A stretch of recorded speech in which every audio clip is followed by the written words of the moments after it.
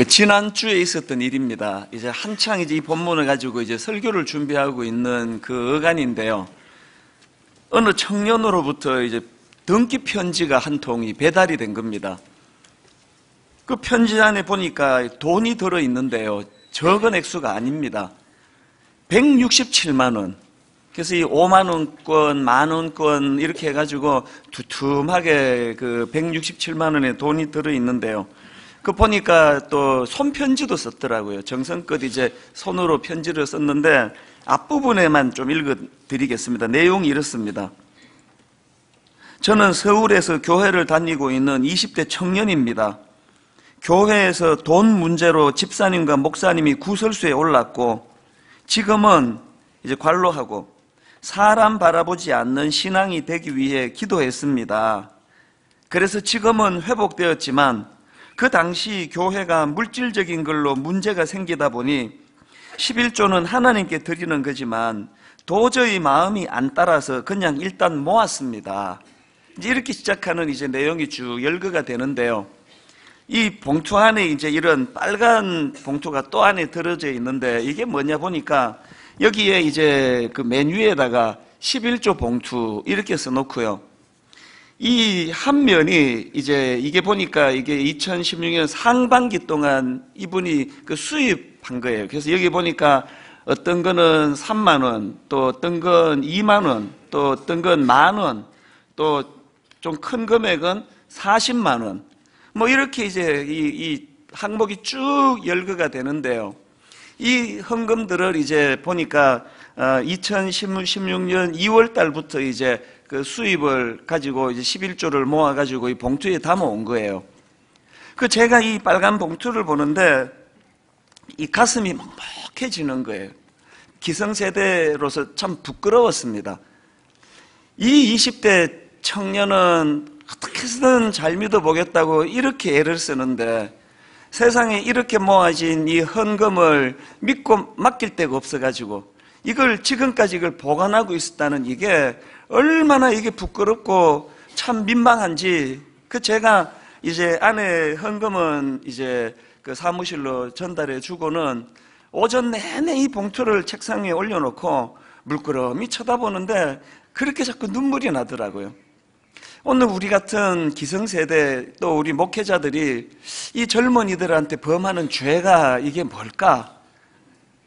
그 그런 생각을 하면서 제가 참 마음이 먹먹하게 오전을 보냈는데요. 그러다가 제 마음의 결심이 뭐냐면 내 이 봉투를 내가 보관을 해야 되겠다.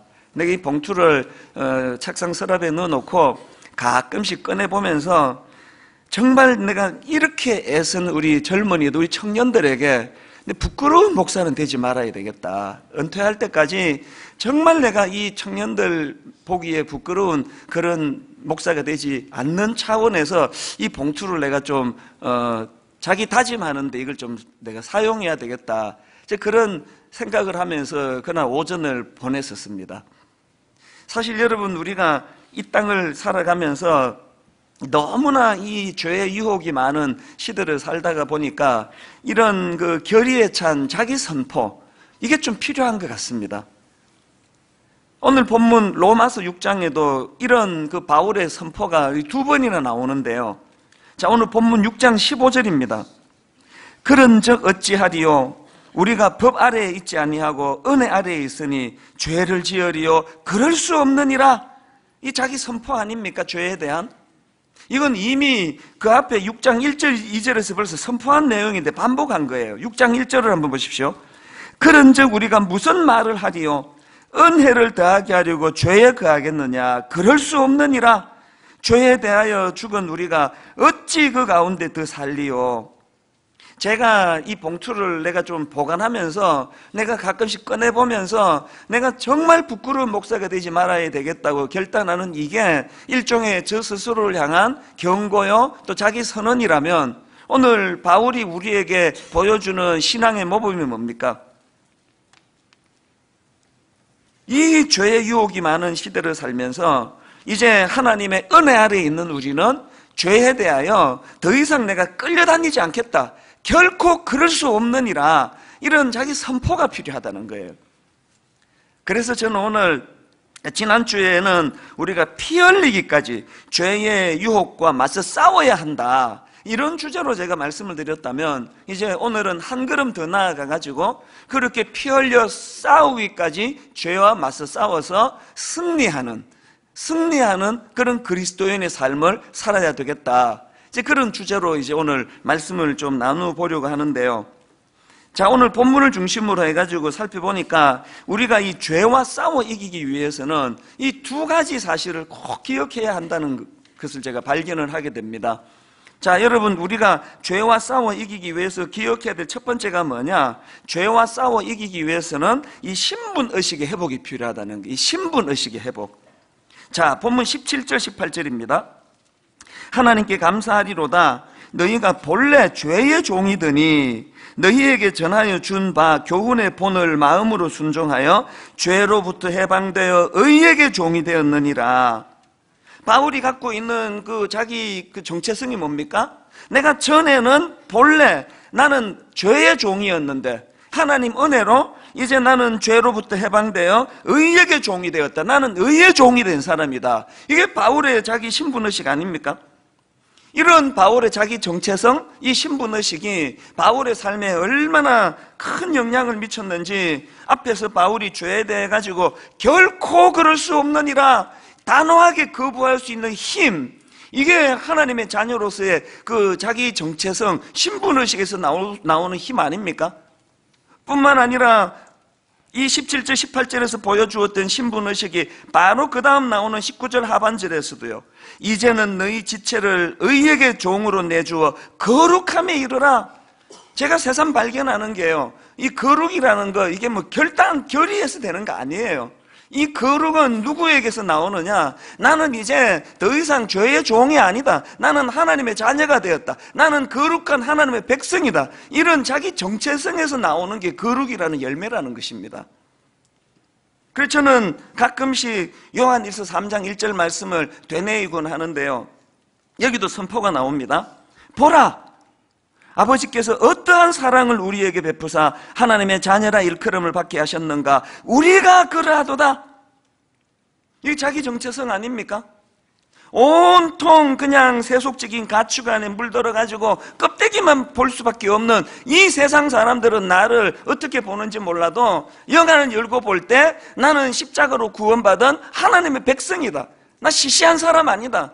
이 그 다음 말씀이 기가 막힙니다. 그러므로 세상이 우리를 알지 못함은 그를 알지 못함이니라. 오늘 적어도 우리한테 이런 그 자기 스스로에 대한 이 신분의식, 자기 정체성, 이런 건강한 자기 정체성이 있으면요, 뭐 일시적으로 좀 실패한 거, 일시적으로 좀 어려움에 빠지는 거, 경제적으로 좀 어려움을 겪는 거, 이런 것 때문에 자기 스스로를 그렇게 비참한 자리로 몰고 가지 않습니다. 아, 지난주에 제가 말씀드렸던 그 삼손만 해도 그렇지 않습니까? 만약에 삼손이 이 바울이 가졌던 이런 신분의식을 가졌다면요. 어, 나는 나실인이다. 하나님께서 내가 이 땅에 날 때부터 특별한 사명을 주시기 위하여 나를 이 땅에 보내주신 나는 사명을 가진 존재다. 만약에 삼손이 그런 자기 정체성이 있었다면 그 들릴라라는 여자가 유혹할 때 그 넘어가겠습니까? 아, 또 뭐 일시적으로 또 뭐 인간이라서 잠깐 넘어갔다 할지라도 그렇게 그냥 끝간데 없이 끌려가가지고 두 눈알이 뽑힐 때까지 비참하게 인생이 그냥 몰락할 때까지 그렇게 끌려다녔겠냐고요. 그럴 수가 없습니다. 그렇기 때문에 우리가 자꾸 우리 스스로에 대하여 이 내 내 정체성, 나는 하나님의 사람이다. 그런 면에서 저는 우리 그 부교육자들에게도 요구하는 게 있고요. 또 제 스스로도 그렇게 마음에 담고 늘 되뇌이는 영어 단어가 하나 있는데 디그니티라는 단어. 저는 이 단어를 굉장히 소중히 여기거든요. 이 dignity라는 이 dignity라고 하는 이 단어는 우리말로 하면 품위 또 자존감 이런 뜻이에요. 제가 왜 이 dignity라는 이 단어를 그렇게 소중히 여기겠습니까? 자기 정체성 아닙니까? 내가 적어도 하나님의 종으로 말씀을 전하는 그런 거룩한 직분을 부여받았는데 이 자기 정체성이라는 거예요. 이 뭐 밥은 굶어도 이거 놓치면 안 되는 거 아닙니까? 그 제가 잘 아는 어느 권사님이 있는데요. 이 권사님이 그 젊은 시절에 이제 그 목사님에게 좀 그 실망했던 이야기를 해주는 걸 내가 들었습니다. 그 80년대는 뭐 집에 차가 뭐 거의 없거나 있으면도 한 대밖에 없고 이런 시대다 보니까 여성분들이 이제 자가 운전을 거의 하지 않던 시대인데요. 이제 이분은 그 자가용을 몰고 다녔습니다. 그러니까 이제 교회에서 무슨 부흥회가 있었는데 담임 목사님이 부탁을 한 거예요. 아, 집사님 이 담임 목사님이 이제 점심을 대접해야 되는데 이 차를 갖고 있는 성도가 많지 않으니까 집사님이 좀 그렇게 좀그 섬겨 주시면 좋겠습니다. 그래서 이제 이 권사님이 젊은 집사님 시절에 이 두 분 목사님, 담임 목사님하고 또 강사 목사님을 이제 뒤에 모시고는 이제 운전해서 식당으로 이제 간 적이 있다는 거예요. 아, 근데 그 과정에서 이분이 목사님들한테 그 대화를 들으며 엄청 실망했다는 거예요. 어떻게 목사님들 대화가 그러냐고. 그래서 그 무슨 대화를 나누던데요? 그랬더니 아 들어보니까 뭐 별 나쁜 대화가 아니에요. 아 저도 하는 이야기고 우리 목사님들 모이면 그런 얘기 나누는 그런 이야기를 하더라고요. 이게 그렇게 실망스러운 내용이 아닌데 왜 이분은 그 그날 목사님들의 대화를 보면서 그렇게 실망을 했을까 생각해 보니까 이게 기대감의 문제 아닙니까? 이 젊은 집사님 생각에 이제 두 목사님의 대화는 자기들이 하지 않는 holy holy 그런 대화를 할 줄 알았더니 어 그냥 자기들하고 똑같이 뭐 먹는 문제, 자는 문제, 입는 문제 그런 대화를 하니까 그게 실망이 되더라는 거예요. 이게 이게 그 기대감의 문제 아니겠습니까? 저는 우리 교회 그 부목사님들한테 항상 하는 얘기 이거예요.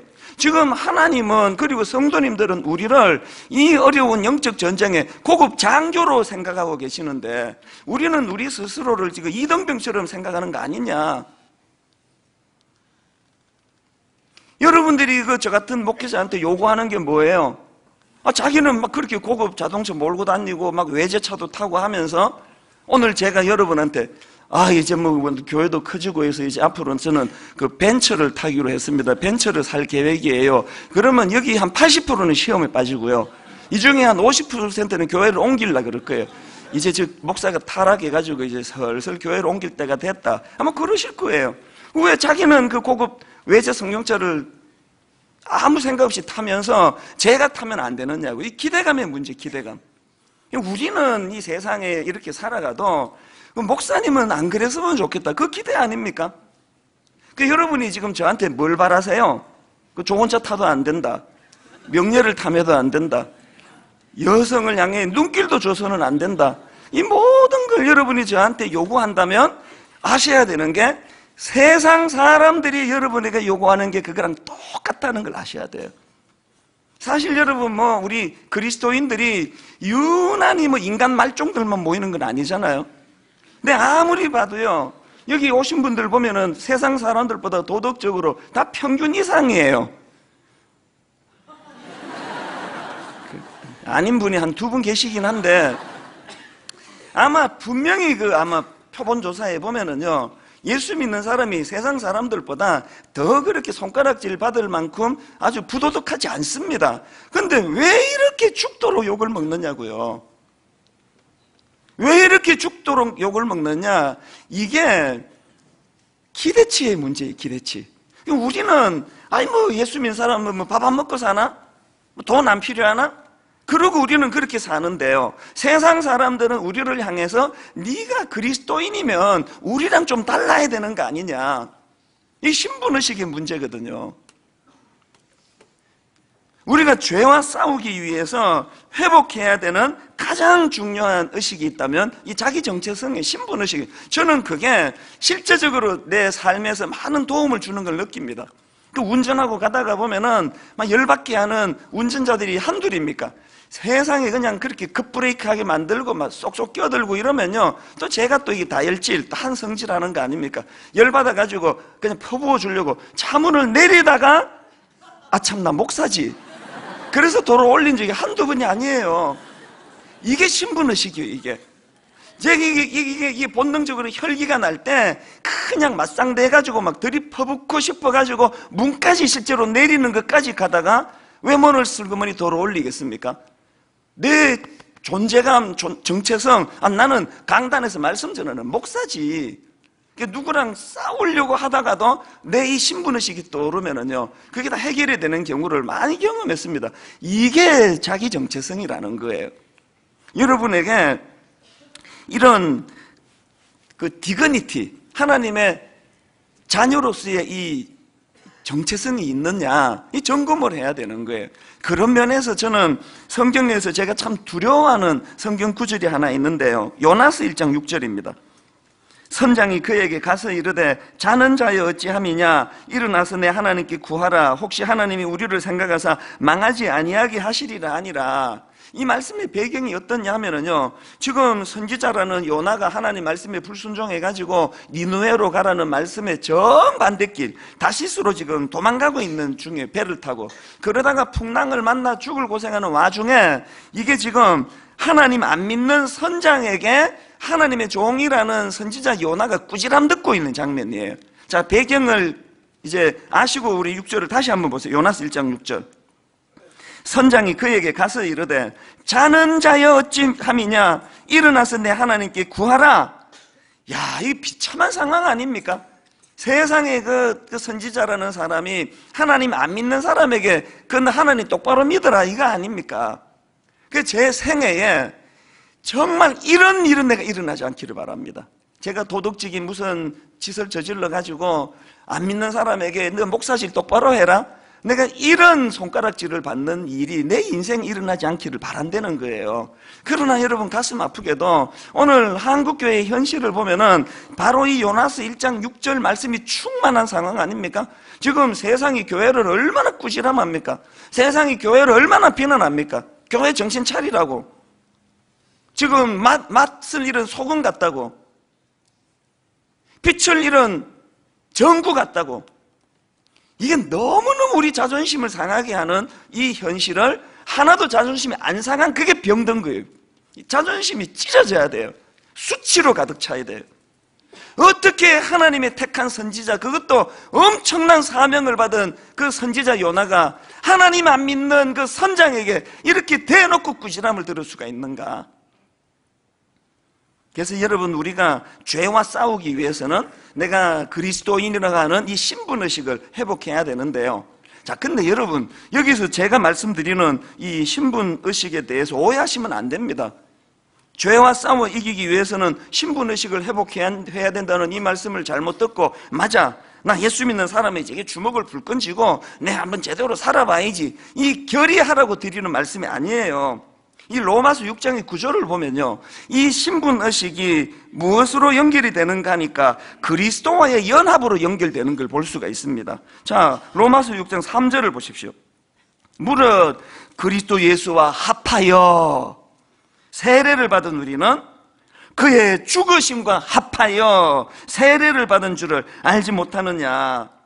여러분, 내가 그리스도의 십자가로 하나님이, 하나님의 자녀가 되었다는 이 신분 의식이 회복되었다는 말씀은 이제 더 이상 그 죄와 나 홀로 싸우는 인생이 아니라 날 위해 십자가 지신 예수 그리스도와 연합하여 그분과 함께 싸우는 인생이 되었다는 걸 인식하는 삶, 이게 우리 정체성의 문제예요. 여러분 그리스도와의 연합이 뭡니까? 로마서 6장에서 강조하는 그리스도의 연합이라는 것은 예수님께서 십자가 지시는 걸로 우리 죄 문제를 위하여 음, 난 너희들을 위하여 십자가를 내가 어? 져주마 그리고는 십자가에서 그 고통을 다 감당하시고 그렇게 죽으시고는 난 내 할 일 다 했다 어? 나 간다 이제 니들이 알아서 해라 이렇게 하지 않으시고 십자가에서 죽으신 그리스도께서 오늘 우리와의 이 신비로운 연합을 통해 우리 안에 내주하고 계시고 우리와 함께 이 죄와 싸우는 일을 오늘도 주님께서 그 일에 우리와 함께 하신다는 거예요. 그래서 이 그리스도의 연합이라는 교리를 잘 이해하려면요. 이 그리스도와의 연합에는 성령님이 일하심이 계세요. 성령님은 오늘도 우리가 홀로 싸우는 인생이 아니라 십자가 지신 예수 그리스도 그분을 소개하는 역할을 하고 계시거든요.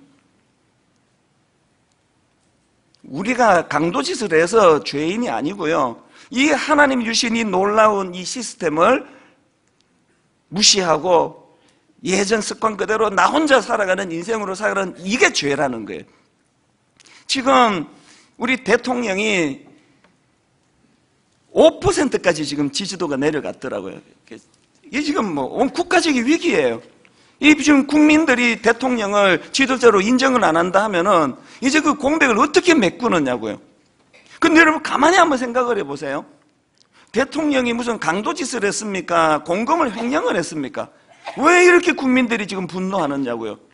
어떤 의미에서는 그 이상으로 국민들이 실망하는 게 뭐냐? 국민들이 대통령으로 뽑고 나라를 위해 일하도록 하면서 청와대 시스템을 만들어 줬잖아요. 수많은 고급 인재들을 참모로 또 헬프하는 많은 일꾼들로 보내줘가지고 시스템을 구축해 줬는데 이 대통령께서 가슴 아프게도 이 공식적인 이 시스템을 활용하지 않고 최순실이라고 하는 한 개인 비선을 통해서 일한 것들이 이게 가장 큰 문제라는 거예요. 뭐 최순실이라는 사람이 뭐 얼마나 문제가 많고 저지르고 그 다음 문제예요. 오늘 우리가 이런 사건들 앞에서 영적으로 우리 자신을 돌아봐야 되는 게 뭐냐? 하나님께서 지금 그리스도와의 연합이라고 하는 이 아름다운 영적 시스템을 우리에게 주셨는데 우리는 그걸 활용하지 않고 그걸 무시하고 난 나를 믿어 나 이 시스템 필요 없어 혹은 엉뚱한 잘못된 어떤 그런 세상의 잡신을 의지하고 그와 손을 잡고 노력을 하고 일하고 한다면은 그게 죄라는 거예요. 오늘 우리가 국가적으로도 우리 기도해야 되는 게 뭐예요? 하나님 그 청와대에도 예수 믿는 사람 많을 텐데 정말 고급 인재들이 이 국가를 위하여 일할 수 있도록 인재들이 제대로 등용이 되고 그런가 하면은 그 젊은 인재들이 마음껏 국가를 위하여 일할 수 있도록 이 시스템이 가동이 되도록 그 기도를 해야 되는 거 아닙니까? 아울러 영적으로도 마찬가지예요. 그리스도의 연합이라는 이 시스템이 가동이 돼서 이제 나 홀로 싸우는 죄와의 싸움이 아니라 내 안에 계시는 예수 그리스도 그분과 연합하여 이제 홀로 싸우는 싸움에서 맛보지 못하는 이 죄의 세력을 싸워 이기는 능력을 맛보는 그런 저와 여러분 되시기를 바랍니다. 그래서 이 성경에 보면요. 그리스도인들의 자기 정체성을 설명하는 구절이 굉장히 많습니다. 자, 갈라디아서 2장 20절을 보십시오.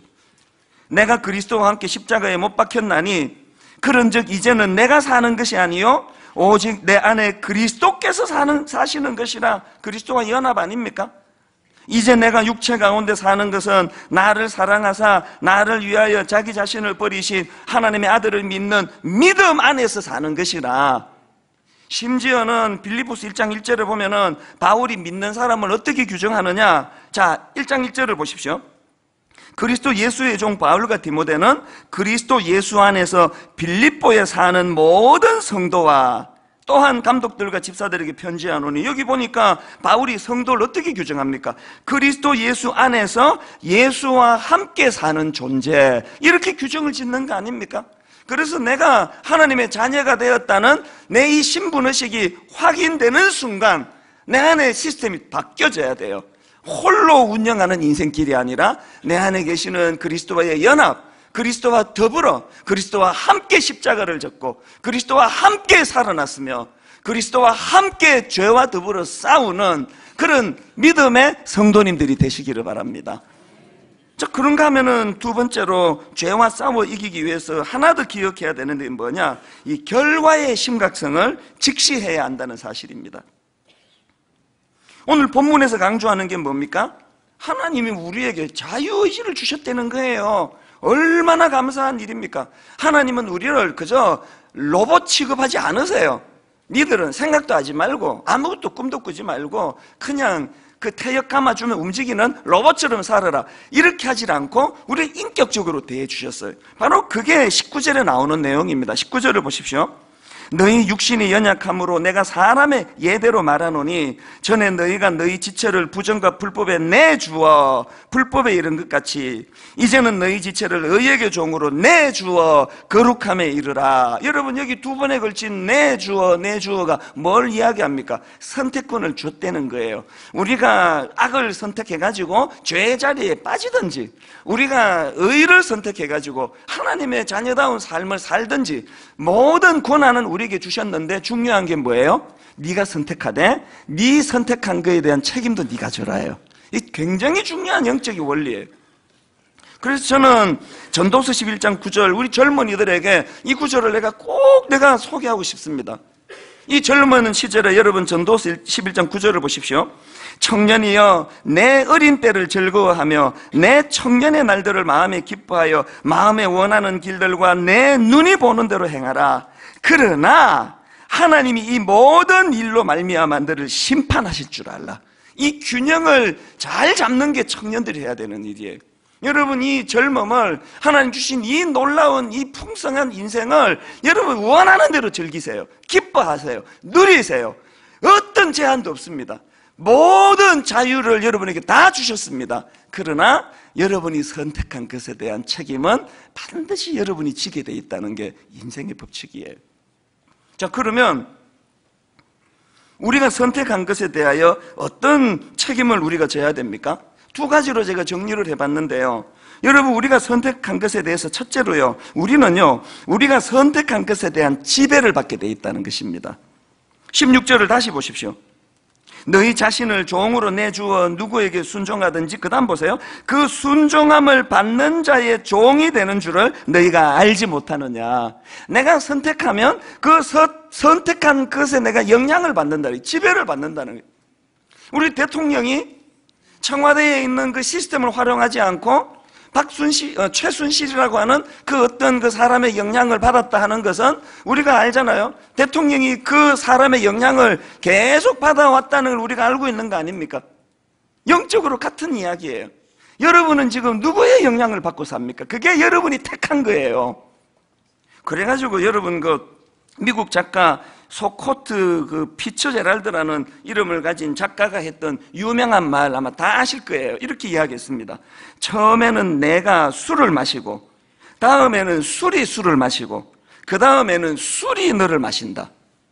뭐 이런 그 소코트라는 작가가 뭐 한 말이 아니라도 저 어릴 때 우리 어른들이 이런 이야기 하는 건데 많이 들었습니다. 나중에는 술이 너를 마신다. 뭐예요? 내가 술을 선택했더니 내가 술의 지배를 받더라는 이야기 아닙니까? 이건 죄 문제도 마찬가지예요. 탈무드에 이런 말이 있습니다. 죄악은 처음에는 손님처럼 겸손하지만 그대로 두면 주인 행세를 한다. 죄의 유혹은요, 손님처럼 달콤해요. 죄의 유혹은 끊을 수 없는 매력으로 다가와요. 그러나 내가 그것을 선택하는 순간 내 주인 노릇을 하는 거예요. 오늘 이 시대에 일어나는 일들을 한번 보십시오. 제가 최근에 아주 흥미로운 그 머리 기사를 하나 봤는데요. 머리 기사가 이렇습니다. 기껏 무료 와이파이를 깔았더니 점점점 대부분 포르노 사이트 접속. 이게 또 무슨 내용인가 봤더니요. 지금 구글이나 그 페이스북에서 이 저개발 국가를 상대로 참 좋은 일을 합니다. 이제 무료 와이파이를 지금 보급해서 인터넷을 마음껏 쓰도록 그렇게 해가지고 이제 그 저개발 국가 중에 하나인 인도에다가 인도의 그 기차역 23군데에다가 무료 와이파이를 설치했대요. 그리고는 이제 시간이 지나가지고 이 사람들이 주로 어떤 그, 그 사이트를 많이 들어가 보는가 봤더니 참 놀랍게도요. 인도 사람들이 무료 와이파이 대부분을 포르노 사이트에 들어가거든요. 근데 이해가 안 돼. 아침에 출근하면서 그게 보여집니까, 그게? 기가 막힌 결과가 일어났다는 얘기예요. 뭘 이야기하겠습니까? 지금 현실적으로 이 죄의 권세에 끌려다니고 있는 현대인들의 모습을 그대로 보여주는 거 아닙니까? 여러분은 어디에 끌려다니고 있습니까? 그게 여러분이 선택한 거라는 거예요. 여러분이 그리스도의 은혜 아래 영향을 받으면 여러분은 그걸 선택했다는 뜻이에요. 오늘 이 시대가 얼마나 가슴이 아픕니까? 아, 제가 아는 미국에 사는 어떤 젊은 부부, 참 신실한 부부인데요. 어떻게 하다가 이혼을 하게 된 거예요. 그게 참 저도 마음이 아팠는데, 아, 그 아버지가 책임감이 강한 사람이니까 그 어린 아이들에게 너무 미안해 하는 거예요. 막 너무너무 미안해. 어쩔 줄을 모르는데요. 그 아들이 이런 얘기를 하더니 초등학교 다니는 애가 아빠를 위로해 주면서 아빠 괜찮아. 자기가 자기 반의 그 클래스 애들을 다 이렇게 살펴보니까 부모님이 이혼한 애들이 반이 넘는다 그러더라고. 나만 그런 게 아니니까 아빠 괜찮다고 자기 아빠를 위로해 주는데 어, 그 어린애가 너무너무 대견하면서도 그 통계가 너무 가슴 아픈 거 아닙니까? 이 세상이 어쩌다 이렇게 됐을까요? 우리가 선택한 것에 대한 결과라는 거예요. 오늘 이 엄청난 성적인 죄악을 우리가 선택했더니 가정이 붕괴되는 죄의 올무에 지금 놓여 있는 현실이라는 겁니다. 그래서 우리가 이 선택을 두려워해야 된다 그러는 거고요. 그런가 하면은 두 번째로 우리는 우리가 선택한 것을 왜 두려워해야 되느냐? 우리는 우리가 선택한 것에 대한 결말을 두려워해야 돼, 결말. 자, 16절의 결말을 한번 보십시오. 너희 자신을 종으로 내주어 누구에게 순종하든지 그 순종함을 받는 자의 종이 되는 줄을 너희가 알지 못하느냐? 혹은 죄의 종으로 사망에 이르고 이게 죄를 택한 죄의 유혹을 택한 사람들의 결말이에요. 그 다음에 혹은 순종의 종으로 의에 이르느니라. 또 21절 21절 22절 너희가 그때에 무슨 열매를 얻었느냐? 이제는 너희가 그 일을 부끄러워하나니 이는 그 마지막이 사망임이라. 그러나 이제는 너희가 죄로부터 해방되고 하나님께 종이 되어 거룩함에 이르는 열매를 맺었으니 그 마지막은 영생이라. 여러분 이 결말의 차이를 아시겠습니까? 그리고 우리가 잘 아는 23절도 마찬가지입니다. 죄의 싹은 사망이요. 하나님의 은사는 그리스도 예수 우리 주 안에 있는 영생이니라. 근데 여러분 여기서 중요한 게 뭐냐 하면은요. 23절의 이 말씀을 다시 한번 보세요. 여기 보니까 죄의 싹은 사망이요 했는데 이 싹이라는 것은요. 원어로 보면은 이 군인의 생계비와 관련된 단어예요. 그래서 여기 나오는 이 싹은 우리말로 하면 배급, 지불, 보상 이런 뜻으로 번역할 수 있는 단어인데요. 그러니까 여기 나오는 싹시라는 단어는 이 명령에 순종한 대가로 주어지는 결과물이라는 거예요. 내가 죄에게 순종하면 사망이라는 결과물이 나온다. 내 행위의 대가가 나온다. 그런데 그 다음 나오는 이 하나님의 은사는 그리스도 예수 우리 주 안에 있는 영생이니라 할 때 이 하나님의 은사는 영어 성경으로 보니까 gift라는 단어를 쓰는 거예요. The gift of God. 지금 앞에는 싹시라는 그 행위의 대가 지불이라는 단어를 사용하는데 영생을 설명하는 데는 왜 기프트라는 단어를 쓰고 있는가? 이게 너무나 중요한 말씀이에요. 내가 의의 종이 된 것, 하나님이 나를 의의 종으로 삼으신 것도 싹수로 얻은 게 아니라 선물로 얻게 됐다는 것. 그 결과로 내가 영생을 얻게 된 이것도 내 결과, 내 행위의 결과 싹수로 얻은 게 아니라 선물로 얻게 됐다는 거예요. 자, 이걸 정리하는 게 왜, 왜 중요한지 아시죠? 여러분, 내 어떤 행위로 얻게 된 구원이라면 뺏길 염려가 있습니다. 행위 나빠지면 뺏기는 거 아닙니까? 내 행위와 상관없이 자격 없는 자에게 선물로 주신 구원의 은혜이기 때문에 여러분, 이런 걸 의식하고 죄와 싸운다 할 때 뭐가 달라지겠습니까? 뭐가 달라지겠습니까? 내 궁극적인 종착지, 내 마지막은 영생을 얻는 하나님의 자녀가 되는 변함없는 변치 않는 은혜의 자리로 나는 들어가게 되었다는 이 확신을 가지고 죄와 싸운다 할 때는 그래서 저는 이, 이, 이 설교를 준비하면서 그 찬양의 노래만 한 구절이 머릿속에 맴도는 거예요. 때로는 넘어져도 최후 승리를 믿노라. 오늘 현실의 나 자신을 보면 참 부끄러운 거, 초라한 거, 죄에 넘어지고 부끄럽고 이런 것들이 많지만 그러나 이런 초라한 내가 확신할 수 있는 건 뭡니까? 때로는 넘어져도 최후 승리를 믿노라. 이 확신을 가지고 죄와 싸워 나간다고 한다면 얼마나 우리 삶의 확신이 달라지겠냐는 그 얘기예요. 그래서 저는 영적으로 죄와 싸울 때 이 로마서 8장 37절부터 이게 꼭 기억하셔야 될 말씀입니다. 자, 로마서 8장 37절을 보십시오. 그러나 여러분 여기 나오는 그러나는 그 앞에 나오는 35절, 36절을 바치는 말씀 아닙니까? 누가 우리를 그리스도의 사랑에서 끊으리요? 환란이나 공고나 박해나 기근이나 적신이나 위험이나 칼이라 기록된 바 우리가 종일 주를 위하여 죽임을 당하게 되며 도살당한 양같이 여김을 받았나이다 한 것 같으니라. 그러나 이 모든 현실에 때로는 넘어져 엄 청난 그 죄의 파상 공격 앞에 비참하고 초라한 자리에 빠져 있다 할지라도 그러나 이 모든 일에 우리를 사랑하시는 이로 말미암아 우리가 넉넉히 이기느니라. 이 확신 어떻게 가지게 됐느냐? 내 싹수로 얻게 된 구원이 아니라 내 행위의 결과로 얻게 된 구원이 아니라 하나님의 기프트 하나님의 선물로 얻게 된 구원이기 때문에. 그래서 여러분 그 다음부터 보십시오. 뭐를 확신하느냐? 내가 확신하노니 사망이나 생명이나 천사들이나 권세자들이나 현재의 일이나 장래의 일이나 능력이나 높음이나 기품이나 다른 어떤 피조물이라도 우리를 우리 주 그리스도 예수 안에 있는 하나님의 사랑에서 끊을 수 없으리라. 오늘 우리가 여러분 이 하나님 앞에서 확신을 갖고 싸운다 할 때 내 현실은 부끄럽지만 내 현실은 초라하지만 그리고 이 확신을 가지고 나아간다 할 때 우리의 이 기대감 여러분 제가 이 빨간 봉투를 손에 들고 내가 이걸 한 번씩 꺼내보면서 우리 젊은이들 앞에 절대 내 부끄러운 목사가 되지 않겠다는 이런 소망을 가지고 제가 죄와 싸운다 할 때 이것이 저에게 얼마나 드라마틱한 내 인생의 기쁨이 되겠냐고요.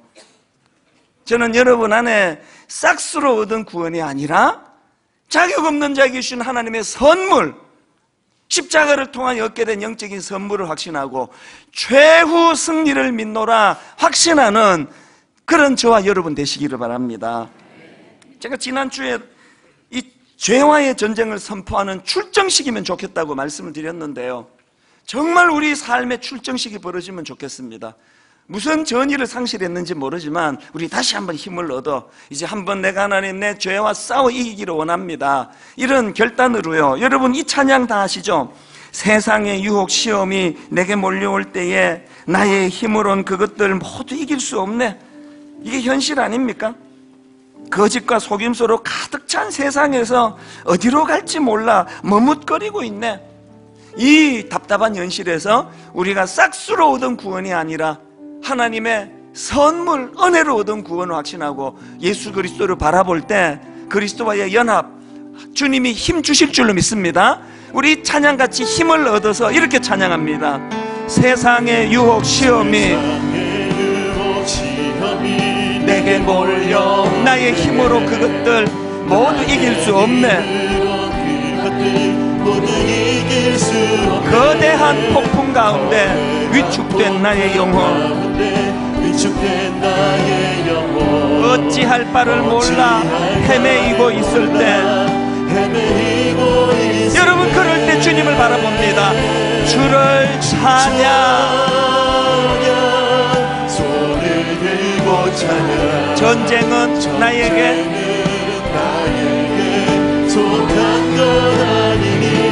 주를 찬양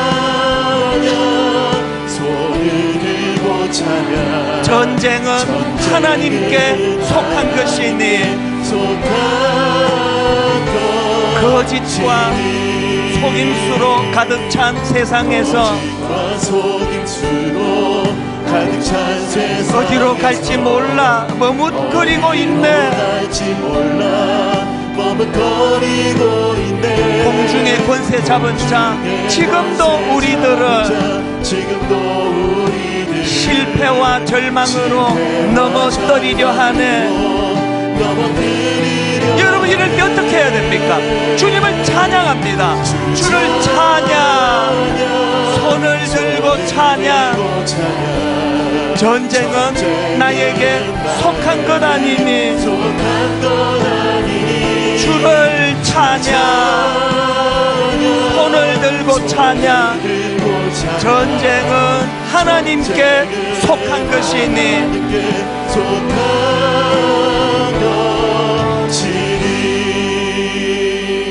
여러분 이 3절의 가사가 이렇습니다. 주위를 둘러보면 아무도 없는 듯. 오늘 여러분 그 엘리야와 같이 낙심이 되는 게 이거 아닙니까?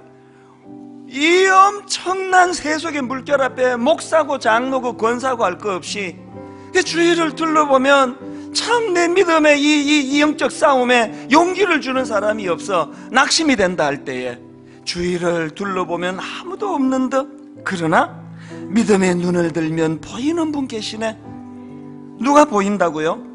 지금도 내 안에서 역사하고 계시는 사망과 어둠의 권세 물리치신 예수님 그리스도와의 연합을 통하여 하나님 이제 나 홀로 싸우는 싸움이 아니라 이제 하나님 내 안에 계시는 예수 그리스도 그분과 더불어 이 죄의 유혹과 싸워 이기기를 원합니다.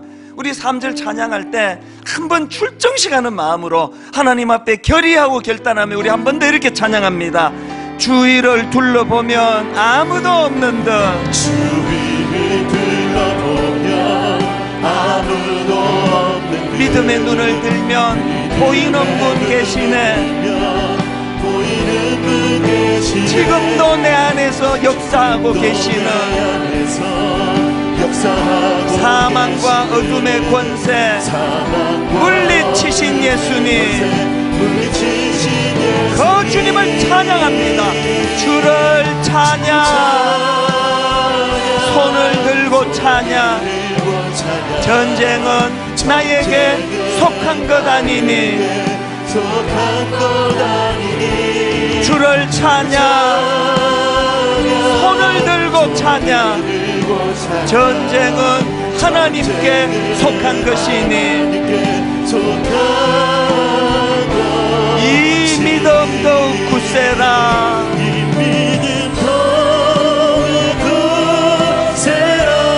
주가 지켜주신다. 어두운 밤에도 빛 인도하여 주신다.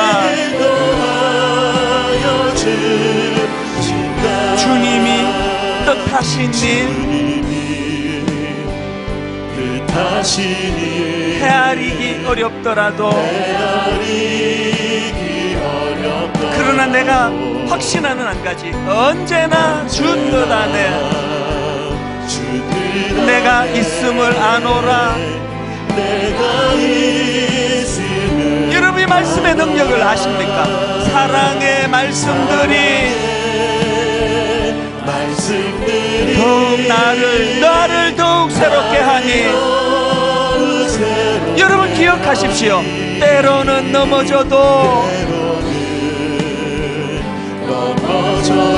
최후 승리를 믿노라. 아멘. 이 믿음 가지고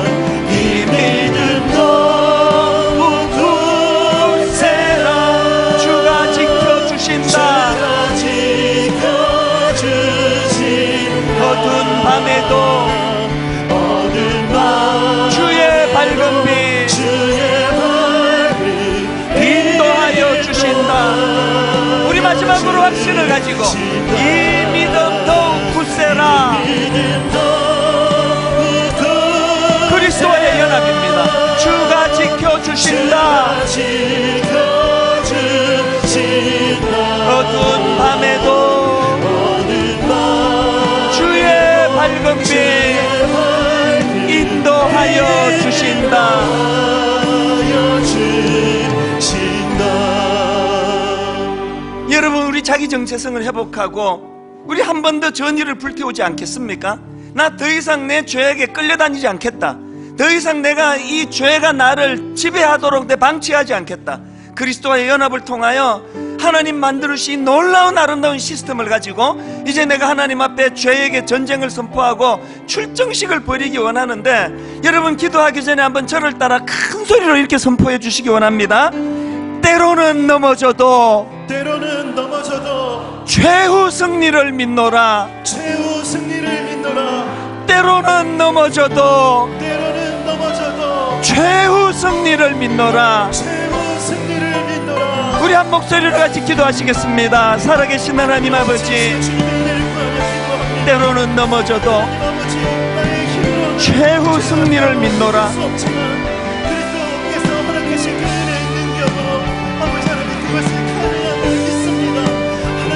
살아계신 하나님 아버지 때로는 넘어져도 최후 승리를 믿노라 싹수로 얻은 구원이 아니라 자격 없는 자에게 하나님의 선물 하나님의 선물로 얻게 된 영생이고 구원이 오니 아버지 나는 최후 승리를 믿습니다 최후 승리를 저는 믿사오니 그리스도와의 연합을 통하여 그리스도와 더불어 싸워 나가기를 원하오니 하나님 은혜 주시기 원합니다. 하나님 아버지 현실이 참 부끄럽습니다. 우리 젊은 크리스찬들 앞에 민망합니다. 저렇게 잘 믿어보려고 애쓰는 젊은이들 앞에 교회가 도대체 저들에게 낙심받게 시켜주지 않는 현실입니다만 그러나 오늘의 내가 초라하다 할지라도 때로는 넘어져도 최후 승리를 믿는 믿음은 하나님이 구원의 은혜의 역사가 내 수고의 공로, 내 애씀의 공로 싹수로 얻은 것이 아니라 하나님의 선물로 받게 된 것임을 믿기 때문입니다. 하나님의 선물로 받은 이 은혜의 구원이기 때문에 아버지 우리는 결국은 주님의 은혜의 승리, 최후 승리, 영생의 자리로 나아갈 줄로 믿사오니 오늘 내 자신을 보고 참 초라하고 낙심이 되고 기운이 빠진다 하더라도 다시 한번 전의를 불태우며 그리스도와 연합하여 주님과 더불어 죄에게 전쟁을 선포하며 한 번 더 아버지 싸울 의지를 허락해 주시고 싸워 이길 확신을 허락하여 주시옵소서 예배가 주는 능력을 맛보면서 이번 한 주간 동안 그렇게 승리의 자리로 나아가도록 인도해 주시기 원하옵고 예수님 이름으로 기도드립니다. 아멘. 다 자리에서 일어나셔서 우리가 십자가 앞으로 나가야 됩니다. 보혈을 지나 하나님 품으로 보혈을 지나 아버지 품으로. 보혈을 지나 하나님 품으로 하나님 품으로. 보혈을 지나 보혈을 아버지 지나 품으로. 아버지 품으로. 보혈을 지나 보혈을 지나 하나님 품으로. 하나님 품으로 한 걸음씩 나가네. 존귀한 주 보혈이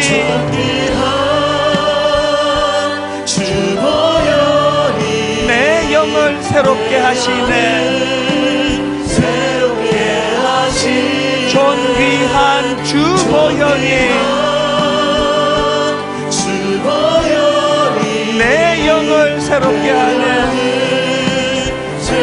한번 더 이렇게 선포합니다. 보혈을 지나 하나님 품으로. 보혈을 지나 아버지 품으로. 보혈을 지나 하나님 품으로. 한 걸음씩 걸음씩 우리가 확신해야 되는 한 가지. 존귀한 주 보혈이. 존귀한 주 보혈이. 내 영을 새롭게 하시네. 새롭게 존귀한 주 보혈이. 주 보혈이. 내 영을 새롭게 하네